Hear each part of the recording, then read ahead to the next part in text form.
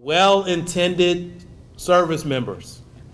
Again, like I said from the beginning, I'm not talking about the predators who go out and try to do this. They need to get prosecuted and convicted and they need to go to prison.